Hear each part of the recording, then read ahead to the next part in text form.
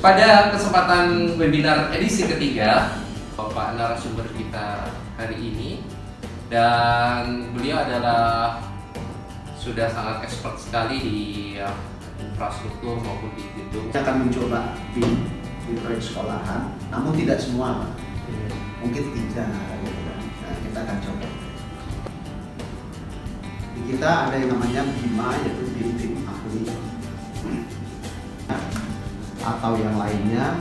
Jadi tidak seperti yang sebelumnya, misalnya warna HP atau warna dinding yang lainnya.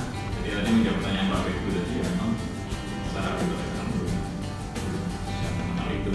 Mutual check-nya apakah sudah menggunakan BIM semua Pak? Beberapa yang perlu pembelajaran lagi dari timnya. Makanya bagi saya sendiri, menurut saya model BIM itu yang perlu jam terbang gitu ya.